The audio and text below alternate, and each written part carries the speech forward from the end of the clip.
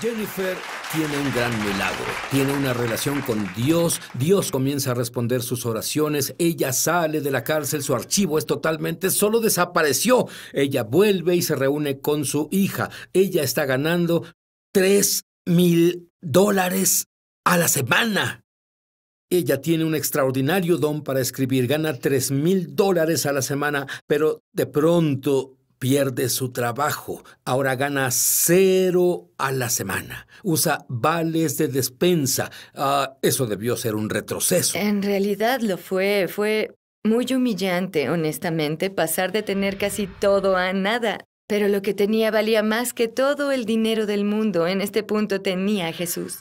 Bueno, y, y debido a que ella tenía una relación con el Mesías, las cosas comenzaron a cambiar al comenzar a orar. Dime, eh, eh, dime qué pasó. Bueno, comencé como dije a devorar la palabra y nunca paré, comencé a meditar en la palabra y comencé a poner la palabra en práctica. Y una cosa es leer la palabra y otra estudiar la palabra, pero cuando ponemos acción en la palabra es cuando comenzamos a ver resultados. Y eso es lo que hice, me conecté a una buena iglesia, me equipé y comencé a llevar la palabra al pie de la letra.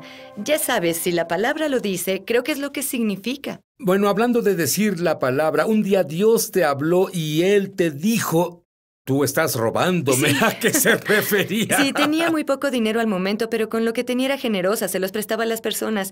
Y ellos estaban robándome. No podía pagar las cuentas porque alguien había tomado un dinero que les había prestado y estaba, en realidad, muy enojada e irritada. Y estaba acabada en mi sofá de rodillas y dije, Dios, ya sabes, ¿qué sucede con esto? Soy generosa, trato de ayudar a las personas. ¿Qué sucede? Estoy cansada de que ellos estén robándome. Y oí esta voz quieta, pequeña en mi corazón y decía, bueno, deja de robarme. Y fue entonces cuando aprendí en realidad a diezmar, a dar el 10% a Dios. Y te digo, cuando hice eso, Sid, las cosas lentamente, no fue de la noche a la mañana, pero paso a paso, comenzaron a cambiar para mí. Bueno, eh, eh, dame una reseña de lo que sucede contigo ahora mismo, después del cambio. ¿Cuántos libros has publicado? ¿Has visto esos libros para tontos en la librería? Ella ha escrito un par de esos. Dime sobre eso. He escrito varios de esos ahora, y esos fueron los primeros libros que escribí. Mucho antes de escribir libros religiosos. Y he escrito un número de esos. Hasta ahora he escrito ocho libros cristianos, además. Y Dios ha tomado el don en mí y lo uso para traer incremento y prosperidad en mi vida. Y Él hará lo mismo por todos. Bien, dime sobre el condominio frente al mar, porque de cupones de comida a un condominio frente al mar, dime sobre eso. En realidad es sobrenatural. Lo que pasó fue que comencé a entender la ley de la confesión. Y no solo hablo sobre nombrarlo, reclamarlo, ya sabes, hablo sobre alinearte con lo que la palabra de Dios dice. Y comencé por desearlo de corazón. Quería un condominio frente al mar. Y comencé a confesar, tengo un condominio frente al mar y ya está pagado. Fue en el 2005. Tengo un condominio frente al mar y ya está pagado. Y solo cada día tenía una lista de confesiones y la leía y al mismo tiempo daba diezmo, daba ofrendas y trabajaba duro. Y como era de esperarse, en cinco años tengo un condominio frente al mar y... ¿Qué crees? ¿Qué? Está pagado. Me gusta eso. ¿Qué te parece eso? Lo que sea que Dios haga por ella, Dios hará por ti. Pero, uh, pero uh, déjame preguntarte algo. Tú luchaste con el miedo, la duda y la incredulidad. Sí. ¿Qué te enseñó Dios sobre la duda e incredulidad? Dios me mostró un par de cosas. La duda es la puerta a la incredulidad y la incredulidad te lleva al miedo.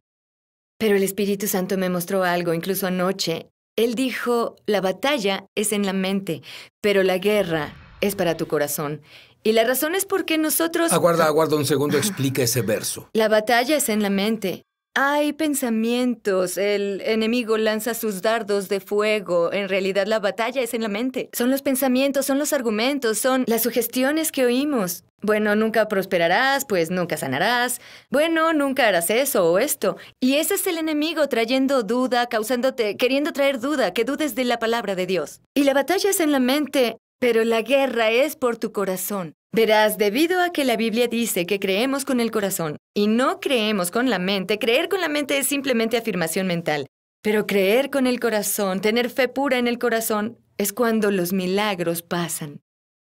Ah, bueno, vamos a volver en un momento y quiero que compartas la revelación que tuviste de cómo creer con todo el corazón, porque esa es la razón de que muchos de ustedes no reciban respuesta a sus oraciones. Hay miedo, hay duda, hay incredulidad y aún así dices, oh, yo creo.